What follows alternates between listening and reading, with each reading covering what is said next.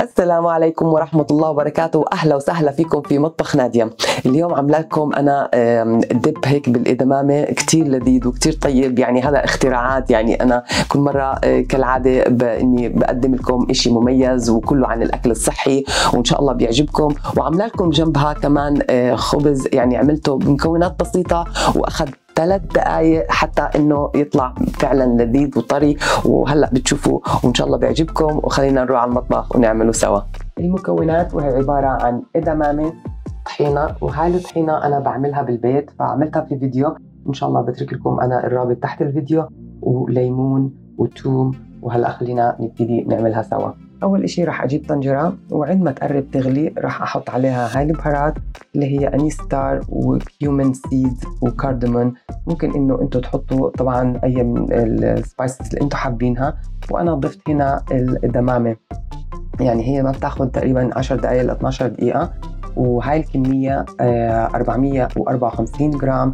حبيت أقول لكم لحتى تعرفوا آه، قديش تحطوا طحينة بعدين والليمون والمي يعني لحتى تعادلوا إذا حابين إنه تعملوا كمية أقل. لتدوقوها بالأول برجع لكم. وهلأ خلينا نفرجيكم إيش الخطوة الثانية أول إشي راح أعمله بعد ما استوت راح أصفيه من المية وبعدين بشيل الأنيس ستار. ممكن إنه الكمون تخلوه لأنه حيعطيها طعم كتير لذيذ. وبعدين راح أحطها في الخلاط.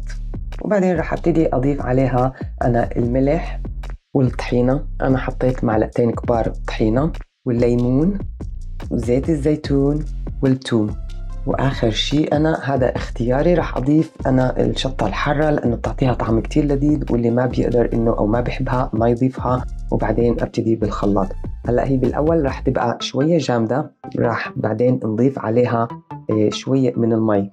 في طريقة أنا حابة أقول لكم عليها. أنا راح أعملها على أساس القوام اللي هو الحمص. بس إنه ممكن إنه أنتم تزيدوا شوية ليمون وشوية مية وبعدين إنه آه، على أساس تضيفوا آه، تخلوها آه، صاص يعني ممكن إنه تصير كمان إنه صاص على سلطات أو دب. برجع لكم. أنا حفرجيكم أنا اللي هو القوام اللي أنا حبيته يكون زي الحمص. وهذا هو القوام اللي أنا بحبه. يعني عامل زي الحمص. وأنتم لو تعرفوا قديش فوائد هذا الادمامه رهيب جدا ولذيذ. وهلا خلينا نبتدي نعمل الخبز. حنعمل هلا إحنا الخبز وهو مكوناته بسيطة جدا. بلاكس سيد يفضل إنه ينطحن طازة حتى ما يضيع الفوائد ولا يضيع اللي هو آه، إحنا الزيوت اللي فيها. وفي طحين اللوز و Greek yogurt baking powder ملح chia seed وبيضتين. حتشوفوا قد إيه هينه دقيقتين وحتطلع ألذ خبزة انتو ممكن إنه تاكلوها. أول إشي راح أبتدي أنا إني أخلط المواد السائلة أحط البيضتين وبعدين راح أضيف عليها ال Greek yogurt هلأ أنا بفضل إنه أنا أخلطهم بالخلاط حتاخذ دقيقة بس لحتى أتأكد إنه صاروا تقريبا إنه سائل ما يكون في كتل من اللبن الزبادي.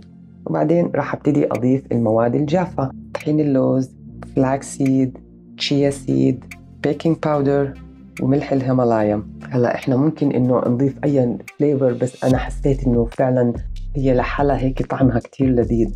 وبس يعني أنا حبتدي إني أنا أخلطهم بالمعلقة وأنا عم بخلطهم حتشوفوا إنه كيف ابتدت إنه هي تجمد وتجمع يعني لحتى بتصير اللي هو القوام اللي إحنا بدنا إياه.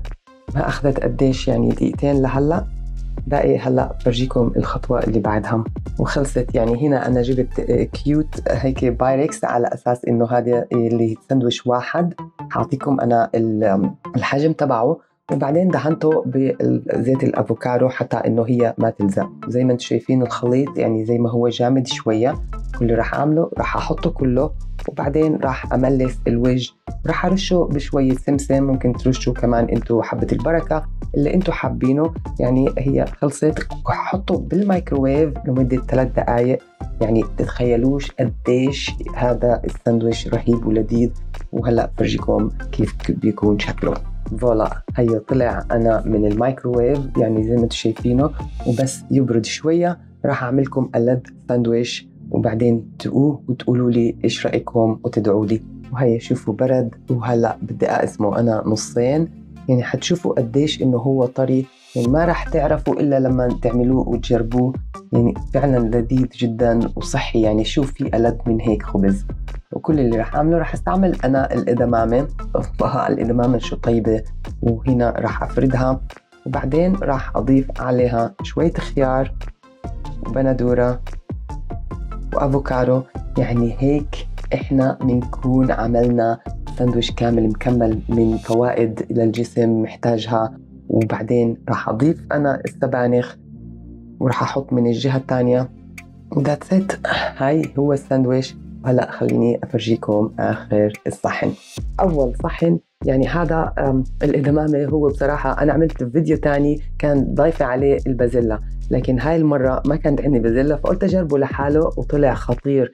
يعني أنا بستعمله زي الحمص يعني الواحد تغيير إنه دائما إنه يعمل آه، وصفات حتى إنه ما يمل وممكن نستعمله ك dip مع الكراب خيار cauliflower broccoli وممكن إنه زي ما قلت لكم إنه أنتم آه، تضيفوا شوية ليمون زيت زيتون وشوية مي إنه أنتم تخلوه رخو على أساس يكون زي آه، صاص على السلطة. أما الوصفة الثانية هذا الخبز يعني خطير. أنا بدي أقول لكم إنه أكلته وحسيت بشبع فظيع. يعني كل الفوائد اللي فيها بس بقى شاعرة إني أنا مبسوطة إني أكلت شيء صحي وبنفس الوقت مشبع. وأتمنى إنه يعجبكم. وحطوا لي آرائكم لما تعملوه. وما تنسوا ال like and subscribe وإن شاء الله أراكم في فيديو آخر مع أكلة صحية ثانية في مطبخ نادية. واستودعكم الله. والسلام عليكم ورحمة الله وبركاته.